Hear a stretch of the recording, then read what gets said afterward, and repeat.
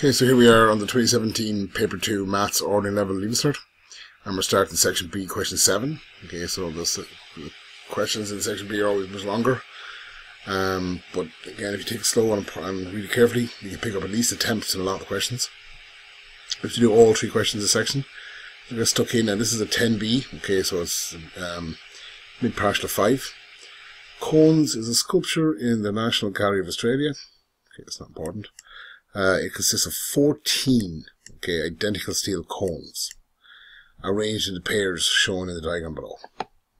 Okay, so lovely, looks lovely. Uh, the height of each cone is equal to the diameter of its base. If the radius of the base is 2.25 meters, write the height of the cone. The important thing here is the height is equal to the diameter. We're given the radius. Now here you have to remember that the diameter is twice the radius. Okay, so it goes to the answer here.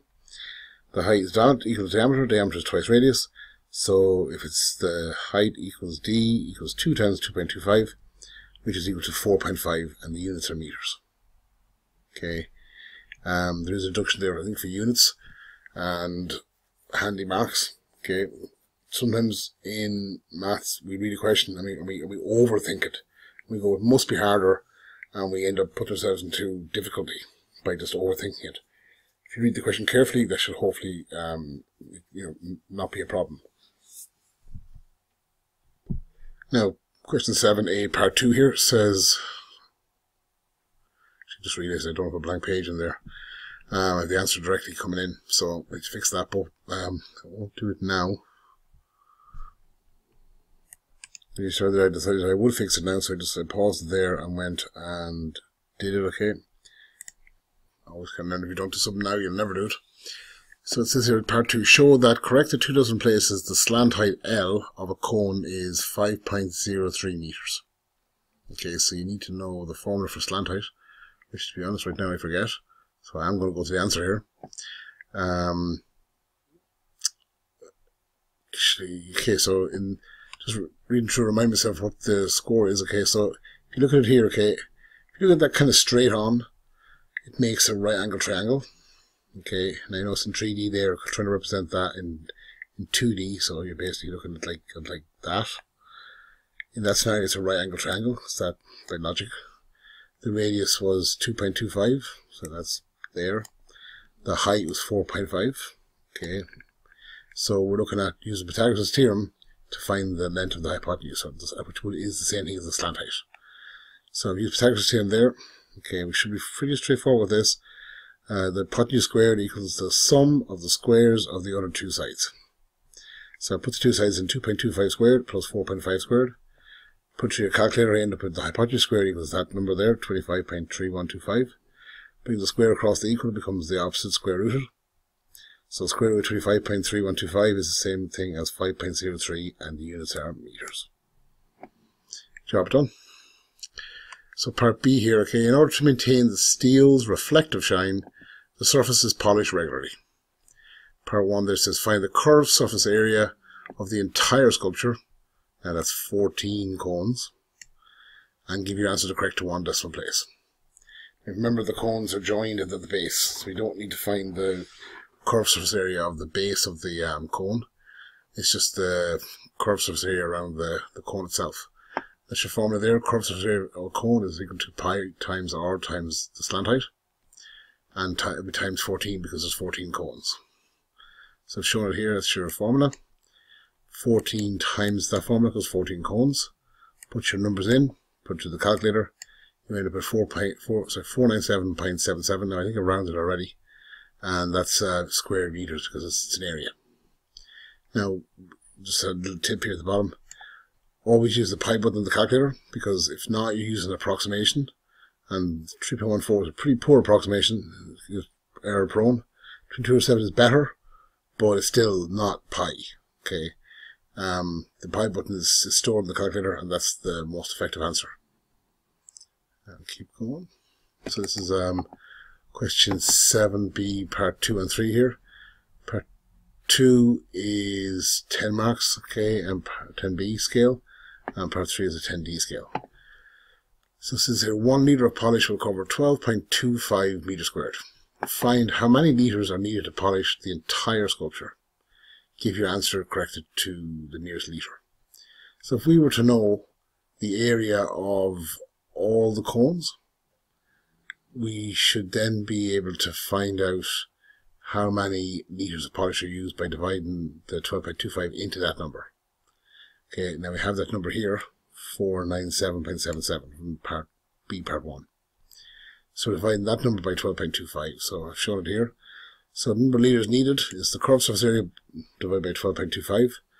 That's 497.77 divided by 12.25, and you get this decimal 40.6, whatever. Now, if you think about it, you can't go into Woodie's or B&Q or wherever and buy pint six of a can and say, oh, I only want the, that bit. You have to round up. Okay, so anything above 40 means you need an extra can. Okay, so you need 41 litres. Okay, or an extra litre. So question three here then, actually go back and do the problem solving. Um, a container of polish, polish sorry, contains 5 litres and costs 110 Australian dollars. Find the number of containers of polish that must be purchased in order to polish the entire sculpture, and hence find the cost of the polish in euro. Give your answer correct to the nearest uh, euro. So, you know how many litres you now need, okay, but you want to find out how many containers you need. So we'll go straight to the answer here.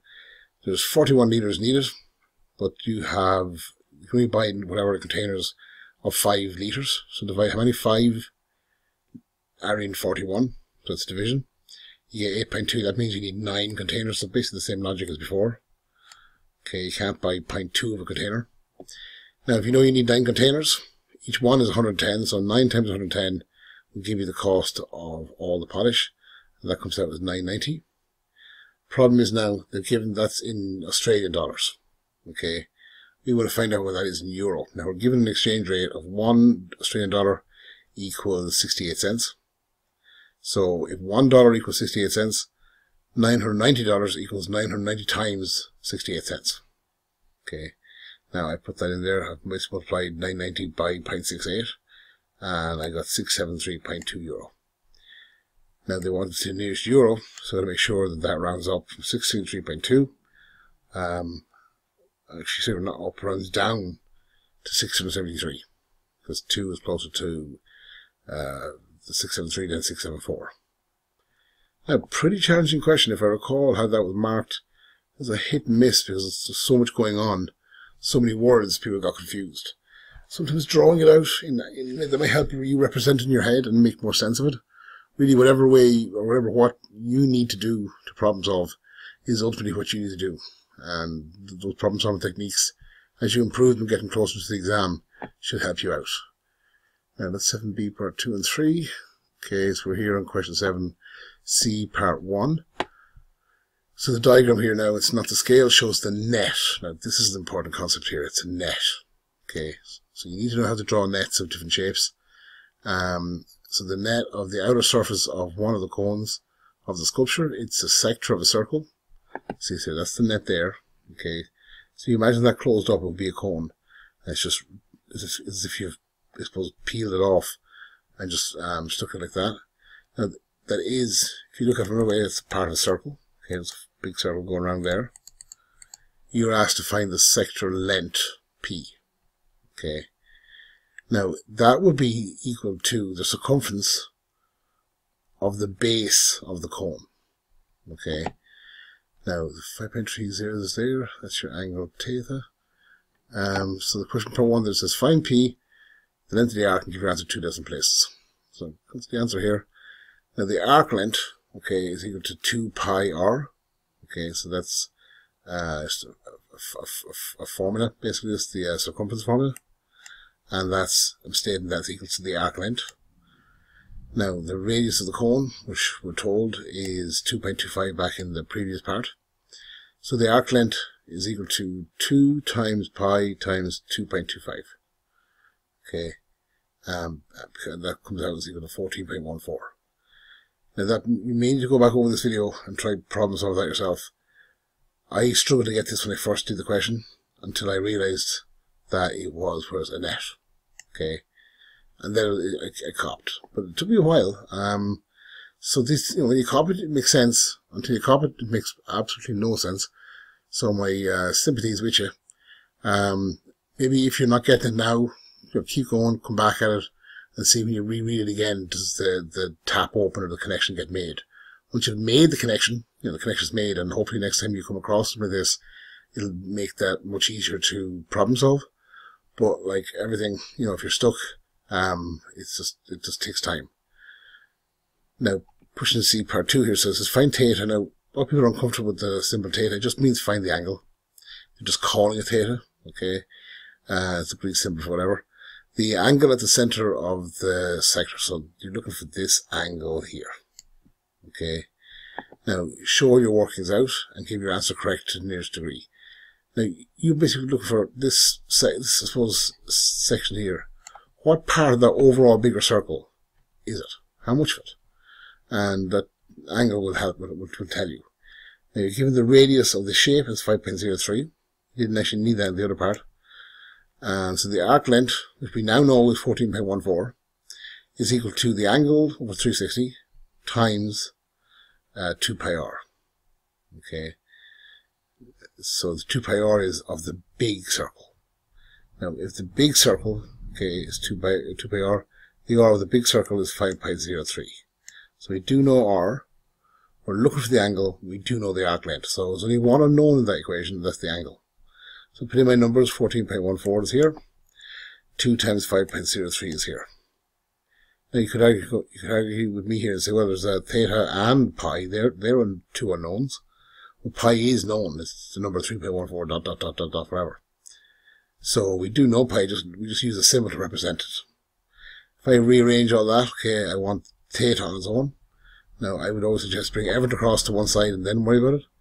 So what I'm doing here is bringing the, the, the multiplication of 2 pi times 5.03 and bring the whole thing across this multiplied on the right becomes divided on the left. Let me see that there. Okay. At the same time, okay, um, this 360 is being divided on the right. It comes across the left, it becomes multiplied. Okay, and multiplied of everything on the far side. Now that's a calculation. Put the whole thing there to the calculator.